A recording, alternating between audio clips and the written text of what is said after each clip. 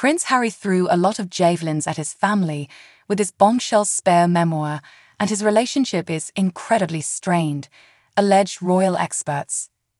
Writer and broadcaster Hugo Vickers remarked that it is highly commendable that King Charles has never publicly commented to the biography, which made a lot of barbs at the royal family.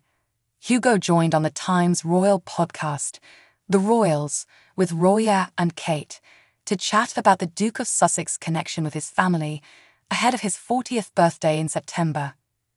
Host Roya Nikkhah, royal editor at the Sunday Times, said, the permafrost seems pretty frozen, certainly between the brothers, Prince Harry and Prince William, and I think that relationship with his father is incredibly strained. Hugo concurred, saying, However, he threw a lot of javelins at his family in that book, Spare, and I think it's highly commendable that the king has never responded publicly to any of these things. So I take the view that the door is indeed left open. Now, it's not very easy for Prince Harry to enter through the door because, first of all, he says he can't bring his wife to England. He can take her to Colombia, apparently, which is much more dangerous than England, but he can't bring her here because he doesn't have security. Well, he probably would have a certain amount anyway. For various reasons, he doesn't, so he pops over from time to time, and there are these brief meetings but I congratulate the king tremendously for his restraint, because to have had all those things said about you and about your second wife is pretty unattractive.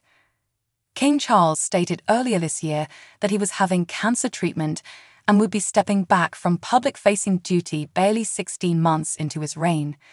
However, it has subsequently been confirmed he is now well enough to visit Australia and Samoa in October on a royal tour.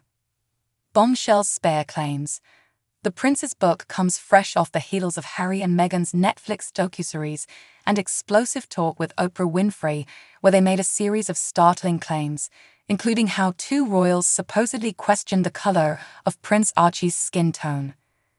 But there was more to come in Harry's book, as he remembered an alleged altercation with his brother William, which culminated with his falling into a dog bowl.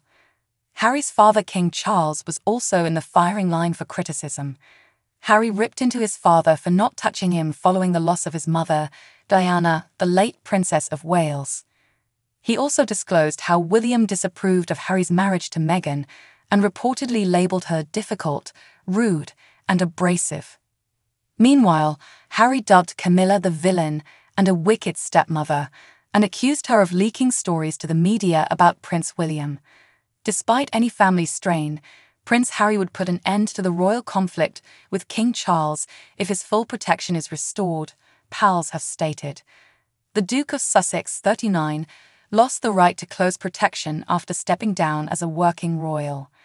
He has now been entangled in a long running legal fight over changing his government funded UK security. But allies of Harry told the Sunday Times it would be swords down if his security were restored. Meanwhile, an individual close to the king stated Harry's assumption he handled security affairs was mistaken. The Duke and Duchess of Sussex announced on January 8, 2020, they would be stepping down as senior members of the royal family.